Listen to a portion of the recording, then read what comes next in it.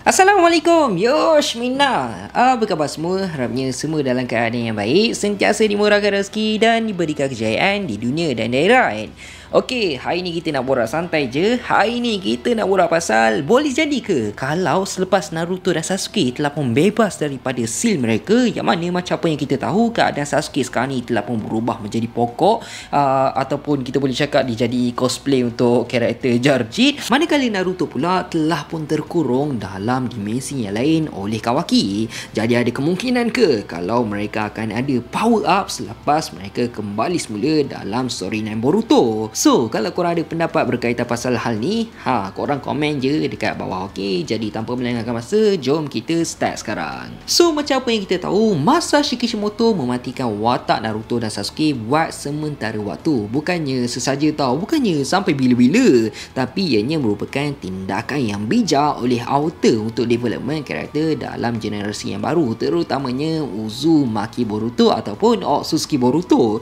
Sebabnya, kalau ikutkan, Boruto adalah watak yang paling terkesan selepas apa yang telah berlaku terhadap ayah dia dan juga idola dia. Tapi bagi aku untuk keadaan Naruto, Boruto tak risaukan sangat pun disebabkan Boruto tahu yang Naruto masih lagi hidup dan dia berada dalam dimensi Daikoku-ten yang mana keadaan dekat dimensi tersebut masa telah pun terhenti menyebabkan Naruto dengan Hinata tak akan tua dan tak akan lapar. Manakala keadaan untuk Uchiha Sasuke pula, Boruto masih lagi mencari jalan macam mana cara untuk selamatkan Sasuke dan dia terpaksa berhadapan dengan musuh yang baru iaitu Shinju. Malah disebabkan keadaan Sasuke, Boruto sekarang ni bersama dengan Kashin Koji untuk meneruskan perjuangan mereka dan development karakter Boruto ni memang cukup jelas. Yang mana selepas time skip, kekuatan Boruto telah pun meningkat dengan cukup mendadak sehingga kan Boruto mampu menggunakan teknik kepakaran Hokage keempat iaitu Hiraishi no Jutsu. So, kita kembali semula dekat topik utama kita.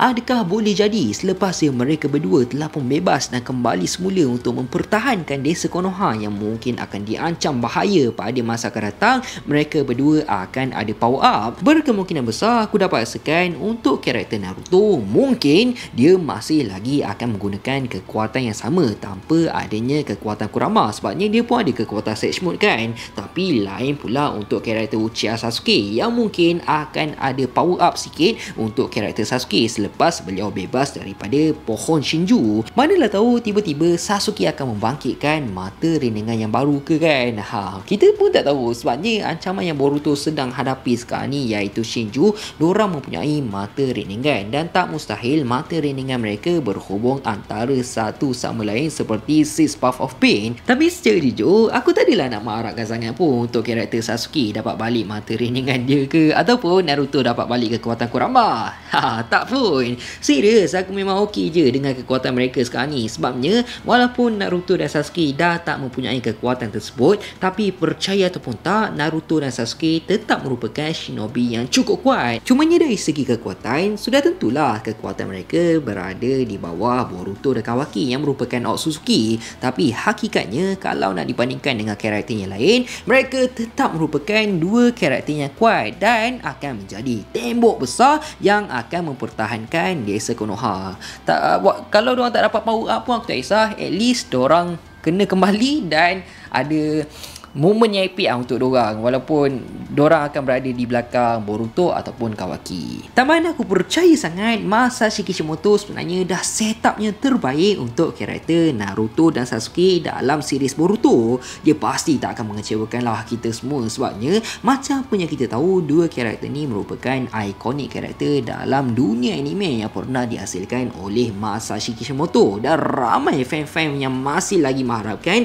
akan ada aksi yang bakal disajikan oleh author kepada kita semua. At least level-level macam Naruto dan Sasuke versus Momoshiki pun dah cukup terbaik dah. Jadi meskipun nasib untuk kedua karakter ni agak tak baik lah buat masa sekarang tapi bila mereka berdua telah pun kembali semula percayalah momen tu akan menjadi momen yang sangat hype dan mereka akan kembali memainkan peranan yang cukup penting dalam dunia shinobi. Pasti akan ada match yang akan diset up oleh Kishimoto untuk dua karakter ni beraksi. Dan aku harap sangat selepas selepas Naruto telah pun dibebaskan oleh Kawaki, aku harap efek teknik omnipotence Eda telah pun berjaya dipatahkan dan keluarga Uzumaki Naruto akan kembali bersatu semula. Aku memang dah tak sabar gila lah nak tengok apa reaksi diorang semua bila dapat tahu yang Naruto dan Hinata masih lagi hidup dan aku nak tengok macam mana reaksi Naruto dan Hinata apabila melihat puteri dengan putera dia iaitu Himawari dan juga Boruto telah pun membesar dengan baik. Sila-sila menentukan Uish akan masuk abut lah untuk kita semua kan So pendapat korang macam mana pula? Komen dekat bawah